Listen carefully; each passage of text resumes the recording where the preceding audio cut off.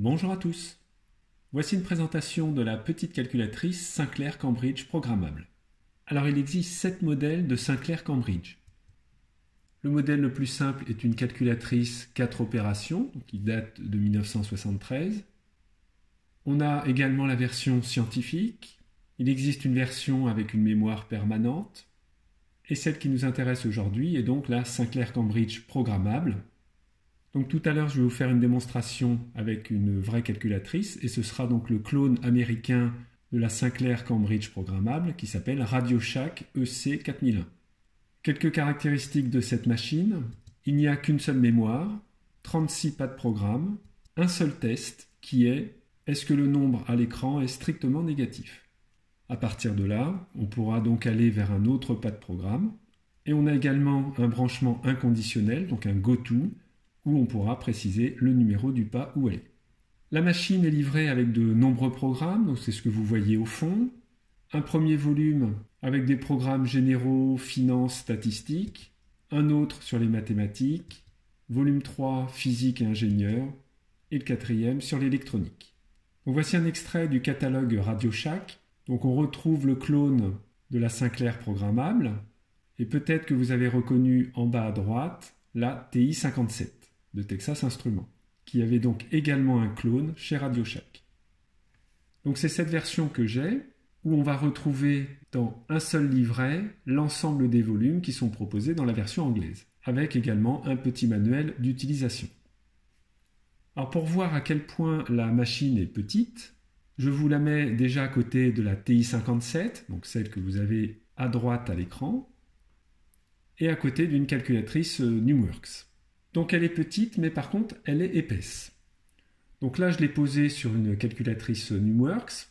Alors l'épaisseur est due à la pile de 9 volts qui alimente la machine. Donc vous avez ici un espace vide. Donc il vaut mieux tenir la machine dans la main que de la poser sur une table pour appuyer sur les touches. Donc la machine a des fonctions trigonométriques, donc les sinus, arcosinus, etc. Logarithme exponentiel. Par contre, si vous voulez utiliser sinus, il faudra que l'angle soit en radian et entre moins 1,57 et 1,57. Ça veut dire que vous avez déjà dû faire un calcul pour vous limiter à cet intervalle. C'est la même chose avec cosinus et tangente. Alors voyons comment on peut taper ces différentes opérations. Pour 123 au carré, on fait 123, multiplié, multiplié.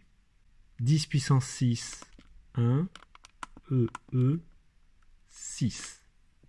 Donc si je le mets au carré, ça fait bien 10 puissance 12. Donc la machine ne connaît pas les priorités. Donc si vous faites 1 plus 2 fois 3 égale, ça fait 9. Alors que le résultat est bien sûr 7. Donc il faut utiliser les parenthèses. 1 plus les deux flèches pour avoir la fonction 6, donc avec les parenthèses. Là, je peux écrire 2 fois 3. Je referme mes parenthèses et je fais égal. Et là, j'obtiens bien le 7. Alors, on peut faire différents calculs à l'intérieur d'une parenthèse. Par exemple, 1 plus, entre parenthèses, si je mets à nouveau 2 fois 3 égale, donc là je vois 6, mais maintenant je peux écrire 3 fois 5 égale, donc 15, et si finalement au dernier moment je mets 7, je ferme ma parenthèse, égale, et ça fait 8. Ça fait 1 plus le dernier résultat que j'ai écrit, qui était donc 7. Donc 1 plus 7 égale à 8. Alors cherchons sinus de 45 degrés. Donc on met 45. Il faut le convertir en radian. Donc une fois, deux fois, puisque la fonction elle est sous la touche. Donc là, il m'a converti 45 degrés en radian. Et ensuite, fonction 7 pour avoir le sinus. Et j'obtiens 0,707. Alors passons maintenant à la partie programmation. Donc l'exemple est tiré d'un des 294 programmes qui étaient fournis. Et il s'agit, en donnant à la machine un entier n, qu'elle nous renvoie la somme 1 plus 2 jusqu'à n, donc sachant que la formule c'est n par n plus 1 sur 2. Donc c'est ça qui va être programmé. Donc vous avez dans la dernière colonne le numéro du pas du programme, donc entre 00 et 35. En première colonne, les touches sur lesquelles vous allez appuyer. Et au milieu, le code correspondant qui apparaîtra à l'affichage de la machine. Alors par exemple, lorsque vous allez appuyer sur la touche E, vous allez programmer le plus, la touche est ici, vous avez en bas à droite un E. Donc le code de cette touche, c'est E. Pour obtenir une parenthèse, on aura simplement appuyé sur 6. Donc par défaut, lorsque vous programmez, le numéro qui est sur la touche correspond à la fonction qui est au-dessus. Donc par exemple, si j'appuie sur 7, ça ne sera pas un 7, mais ce sera sinus. Donc le code sera bien 6. Pour la multiplication, donc on voit que le code est un point. Pour fermer la parenthèse, c'est donc la même touche 6. Et pour écrire un nombre, donc je ne peux pas appuyer sur la touche 2 puisque ça signifie sto, il faut que je fasse dièse 2. C'est-à-dire qu'il faut deux pas, donc ici la touche 3 et ensuite le 2, pour lui expliquer qu'on divise par 2. Le égal a pour code le moins donc qui est là. On fait stop, donc là la touche 0 qui correspond bien à stop. Et si on veut retourner au pas 0, donc faire un branchement inconditionnel goto 00, il faut déjà accéder à goto qui est donc sous la touche. Et pour ça, on appuie donc sur cette touche-là qui a comme code A. Donc on fait A2, c'est ce qu'on a là. Ça, c'est simplement pour accéder à goto. Et ensuite, le numéro du pas, donc il va être également sur deux chiffres. Donc si je veux aller en 0, 0, je fais 0, 0. Donc on voit que faire goto 0, 0 me prend 4 pas sur les 36. Alors tapons ce programme avec l'émulateur que vous avez en lien sous la vidéo. Donc on va déjà aller au pas 0, donc en cliquant une fois, deux fois, donc il y a la lettre G qui apparaît, goto 0, 0. Maintenant, on lui explique qu'on va lui apprendre un programme. Donc on clique sur les flèches et Learn. Et c'est parti. Donc là, je vais taper sur ces touches. Donc plus 6 fois, je ferme ma parenthèse, je divise par donc dièse, donc j'ai juste à faire 3, 2, égale, stop, le A, go to, 0, 0. J'arrive au pas numéro 13, donc qui est bien la fin ici de mon programme. Je sors en cliquant sur CE. Je vais vérifier que mon programme a bien été tapé, donc en refaisant une fois, deux fois goto 0, 0. Donc là, il m'affiche E, qui est donc le code ici, du pas numéro 0. Step, donc là, je vois apparaître 6, 1. Le petit point, le 6, le G, etc. Je sors de là en appuyant à nouveau sur C je retourne au pas 0 pour pouvoir lancer mon programme.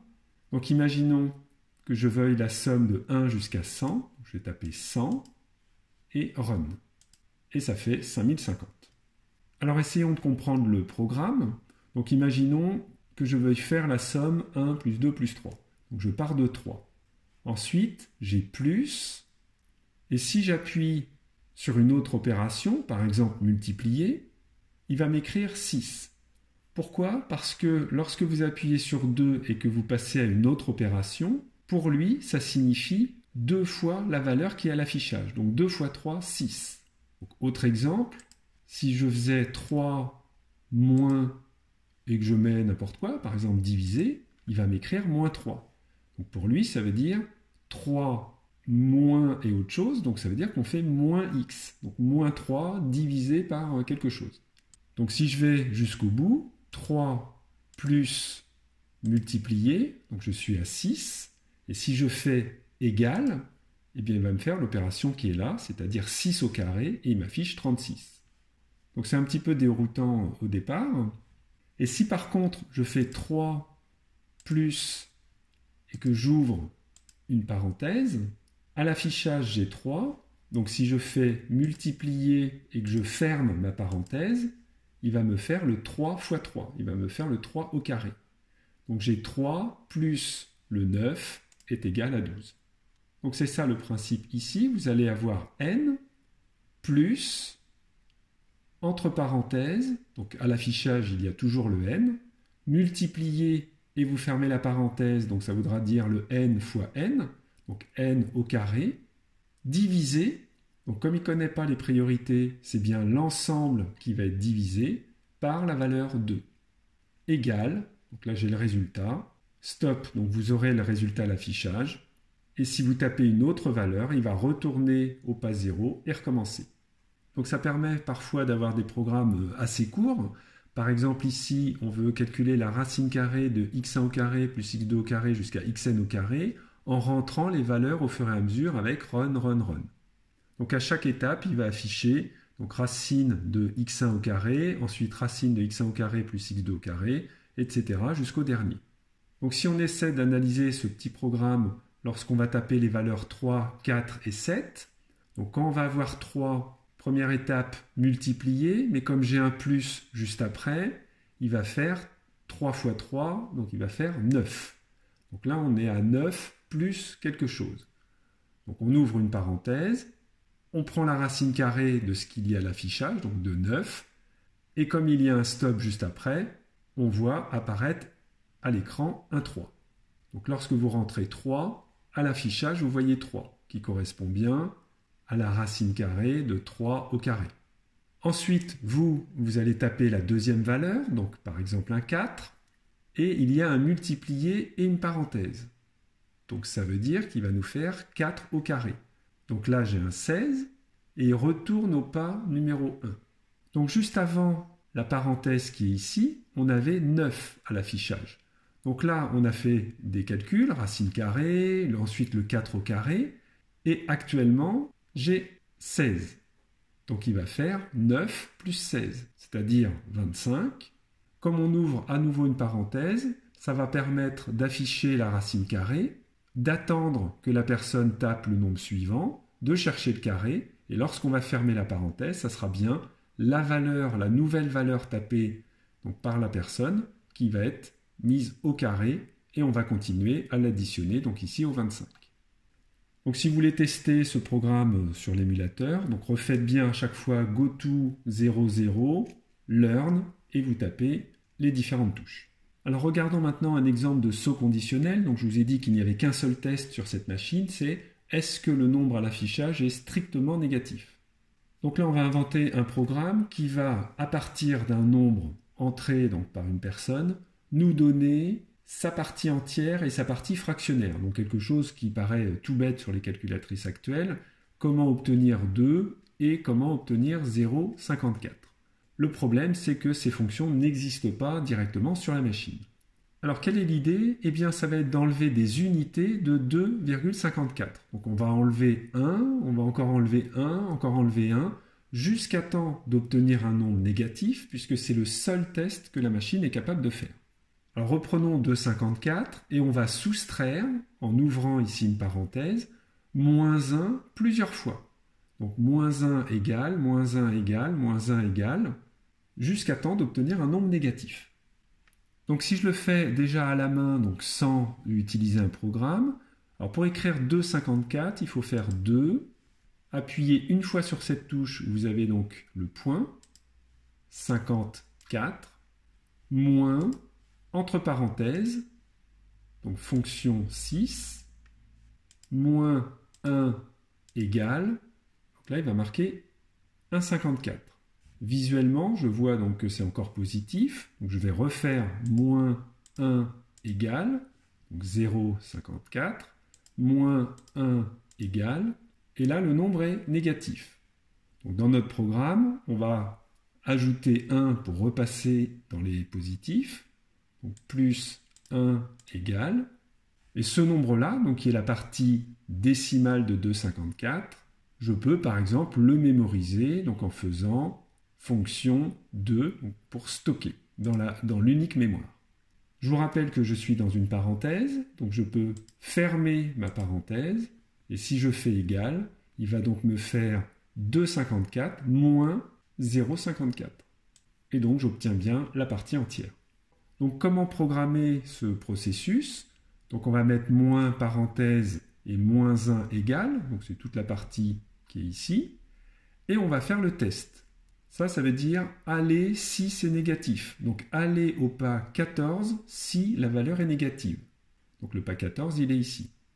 Et si c'est positif, donc il va continuer, donc on lui dit go to 0,2. Donc il va retourner là, il va refaire moins 1 égal.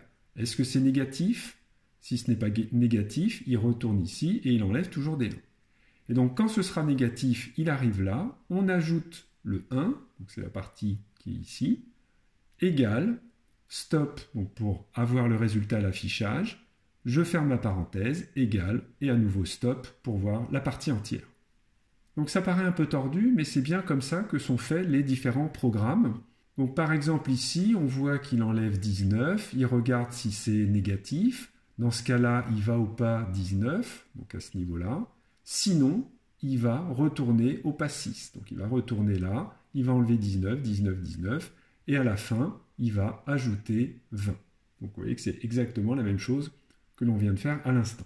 À bientôt